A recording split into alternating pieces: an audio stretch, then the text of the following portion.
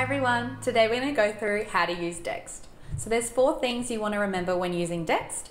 Number one, you want to do it at the point of transaction. Number two, you always want to ask for a copy of the receipt. Number three, you want to put in a brief description if necessary. And number four, make sure it's processing before closing out of the app. But using Dext is very quick and easy, so follow me, let's do a live example. Okay, so in today's example, I'm going to get some coffees and take it back to the office for our staff members.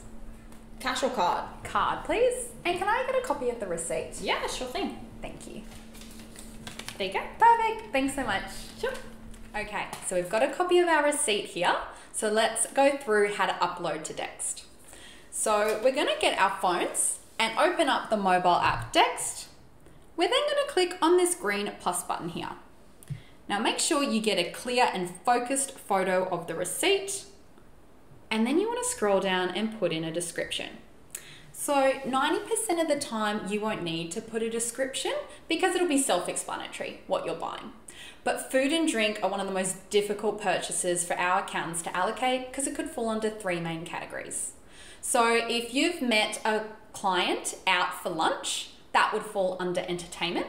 If you've gone away for a business trip, say to Sydney, and you purchased some food, that would fall under travel.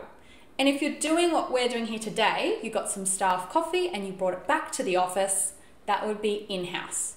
So we're going to go to the description, we're going to write in house, and we could even put in there staff coffee. Click done, scroll down and click submit.